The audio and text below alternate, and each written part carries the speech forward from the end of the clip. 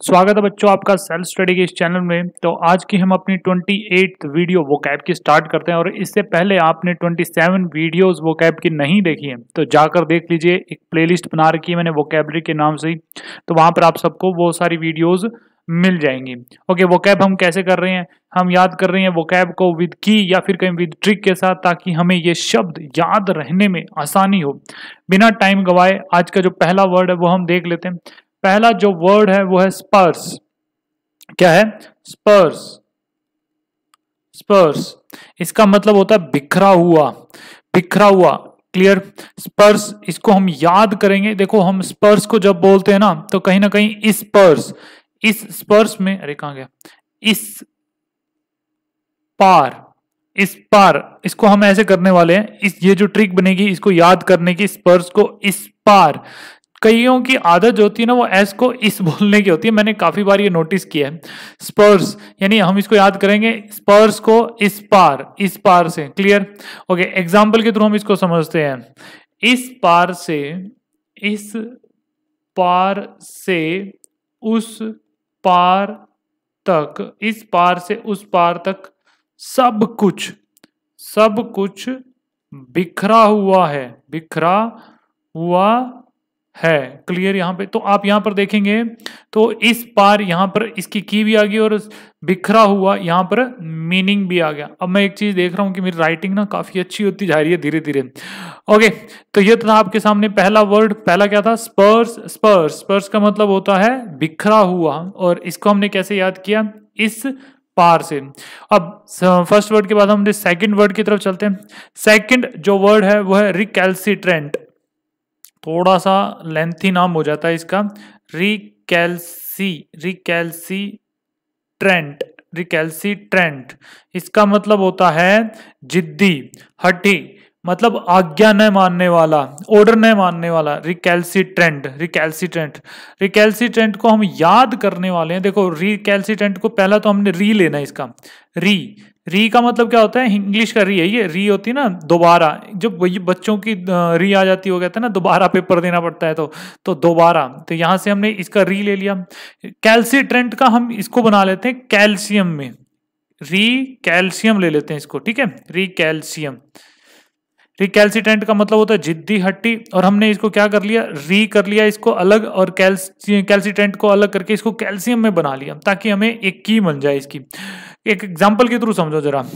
री कैल्शियम लेने की वजह से, यानी दोबारा कैल्शियम लेने की वजह से, री कैल्शियम री कैल्शियम लेने की वजह से, लेने की वजह से वह बहुत ज़्यादा, अरे आना था बहुत ज़्यादा जिद्दी हो गया है, जिद्दी हो गया है। क्लियर यहाँ पे तो जिद्दी यहाँ पर मीनिंग भी आ गया और रिकैल्सियम यहाँ पर इसकी की भी आ गई। रिकैल्सिट्रेंट ये तो था, आज का सेकंड वर्ड आज का मतलब इस वीडियो का second word okay second word के बाद हम चलते हैं थर्ड वर्ड की तरफ़। थर्ड जो वर्ड है, वो डिटेंशन वैसे ये आप लोगों ने काफ़ी बार सुना होगा एग्ज़ाम मतलब कि ये न्यूज़ में बहुत रहा है डिटेंशन सेंटर में डाल देंगे ऐसे ऐसे कुछ करके हुआ था। जिनजियांग प्रांत में चाइना के चिंगजियांग प्रांत में, वहाँ पर मुस्लिम्स को डिटेंशन सेंटर सेंटर में डाला जा रहा है। तो डिटेंशन डिटेंशन क्लियर तो ये है डिटेंशन डिटेंशन का मतलब होता है हिरासत हिरासत में लेना. क्लियर ओके डिटेंशन को हम करने कैसे वाले हैं? जरा देखो. डिटेंशन को यानी दी टेंशन अरे, टे है, टे टमाटर वाला. दी टेंशन दी टेंशन अब ये दी जो है मतलब कि देना. देना. अगर तुमने दी हमें टेंशन ये वाली बात कर रहे हैं हम, ठीक है? दी टेंशन एग्ज़ाम्पल के थ्रू समझो जरा. इससे यहाँ पर क्लियर हो जाएगा. यदि यदि दी टेंशन यदि दी टेंशन तो हम किसी को कह रहे हैं, कोई बंदा हमारे सामने खड़ा है, हम उसको कह रहे हैं, यदि दी टेंशन तो हम तुम्हें हम तुम्हें हिरासत हिरासत, अरे यार, हिरासत में ले लेंगे, हिरासत में ले लेंगे, क्लियर हुआ?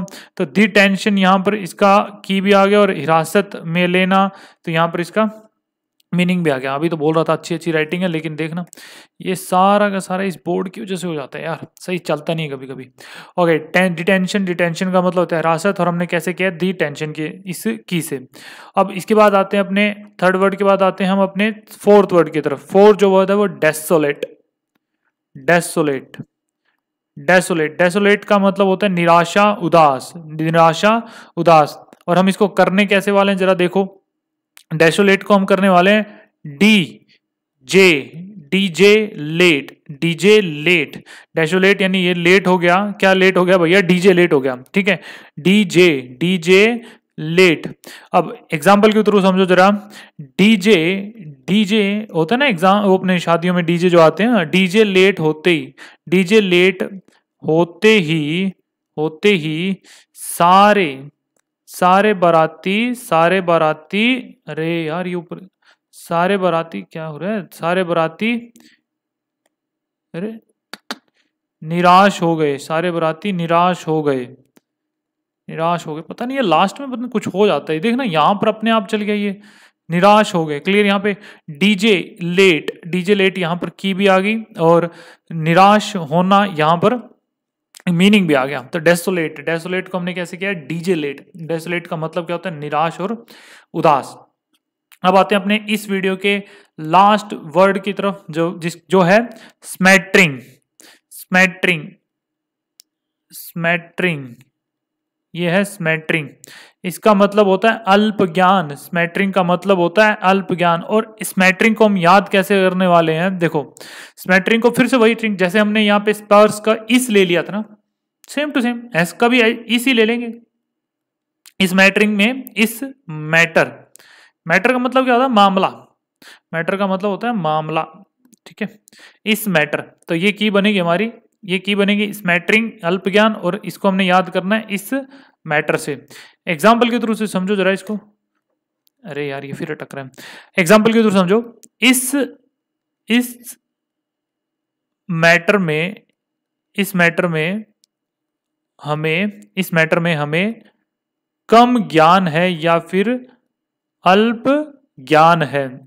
अल्प ज्ञान है। जैसे इस मैटर में हमें कम ज्ञान है या अल्प ज्ञान है, जैसे कि अभी राष्ट्रपति राष्ट्रपति जी ने कहा था कि मैं भी टैक्स देता हूँ तो काफ़ी लोगों ने उनको ट्रोल करना शुरू कर दिया था, जबकि उनको पूरी नॉलेज नहीं थी, इन्होंने टैक्स नहीं पढ़ा था तो वहाँ पर राष्ट्रपति जी भी टैक्स देते हैं। ये मेंशन किया हुआ है कि राष्ट्रपति को छूट नहीं होती है टैक्स देने में तो वो उनको नहीं पता था, वहाँ पर उनको क्या थी, स्मैटरिंग थी, अल्प ज्ञान था, काफ़ी सारे लोगों को होता है। क्लियर हुआ। तो एक बार जल्दी से इन पाँचों वर्ड को रिवाइज कर लेते हैं। पहला जो वर्ड किया हमने स्पर्स स्पर्स का मतलब बिखरा हुआ और हमने इसको याद किया इस बार। कैसे? इस पार से उस पार तक सब कुछ बिखरा हुआ है। सेकेंड वर्ड है रिकैल्सिटेंट रिकैल्सिट्रेंट को हमने याद आ, मतलब इसका मतलब होता है जिद्दी हट्टी और इसको हमने याद किया रिकैल्सियम से। रिकैल्सियम लेने की वजह से वह बहुत ज़्यादा जिद्दी हो गया है। फिर हमने देखा डिटेंशन डिटेंशन का मतलब होता है हिरासत और डिटेंशन को हमने लिया है दी टेंशन अगर दी टेंशन तो हम तुम्हें हिरासत में ले लेंगे। फिर हमने किया डेसोलेट। डेसोलेट का मतलब होता है निराशा, उदासी। फिर इसको याद कैसे किया? DJ late. अगर डीजे लेट हो जाता है तो बराती निराश हो जाते हैं या निराश हो गए। क्लियर? और इसका इसका लास्ट वर्ड हमने जो किया है स्मैटरिंग स्मैटरिंग का मतलब होता है अल्प ज्ञान और हमने इसको कैसे किया? इस मैटर से। स्मैटरिंग को कर लिया? इस मैटर से। कैसे? इस मैटर में हमें अल्प ज्ञान है या कम ज्ञान है। क्लियर तो ये तो थे आज आपके पाँच वर्ड उम्मीद करता हूँ कि आप लोगों को ये वीडियो और ये वर्ड अच्छे से समझ में आ गए होंगे। आ गए होंगे तो क्या करेंगे? लाइक करेंगे और सब्सक्राइब करेंगे चैनल को। लाइक भैया वीडियो को करना है। कहीं सोचो कि चैनल को लाइक करना है। चैनल को पसंद आ गया है तो इसको सब्सक्राइब करना है। और शेयर करना है। शेयर तो दोनों के साथ ही करें। आप चैनल के साथ भी और वीडियो के साथ भी इनको शेयर करें। और इस वीडियो से रिलेटेड आपको पीडीएफ चाहिए। तो नीचे डिस्क्रिप्शन बॉक्स में आपको फेसबुक का और टेलीग्राम का लिंक मिल जाएगा, वहाँ पर आपके एग्ज़ाम के पॉइंट ऑफ़ व्यू से बहुत सारे मटेरियल वहाँ आपको प्रोवाइड किए जा रहे हैं। तो बस आज के लिए इतना था इस वीडियो में।